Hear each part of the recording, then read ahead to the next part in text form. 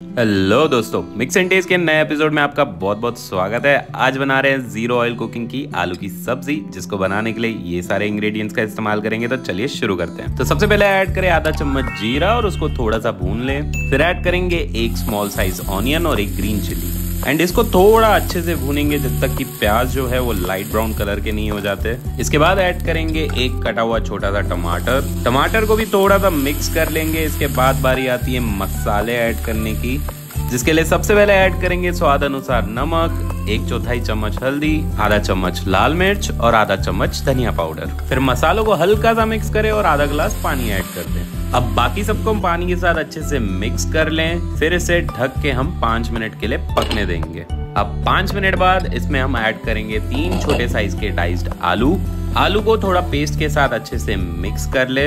अब आलू को पकाने के लिए थोड़ा और आधा ग्लास पानी ऐड करेंगे। फिर आधा ग्लास पानी को मिक्स करके ढक के हम 15 मिनट के लिए फाइनल पकने देंगे। और ये आलू पक चुके हैं। अब फाइनल टच के लिए इसको गार्निश करें कोरिएंडर के साथ और फिर इसे गर्मा गर्म सर्व कर लेंगे। तो दोस्तों, अगर आपको ये zero oil cooking trending technique पसंद आई हो तो ज़रूर लाइक करें शेयर करें और चैनल को सब्सक्राइब करना ना भूलें।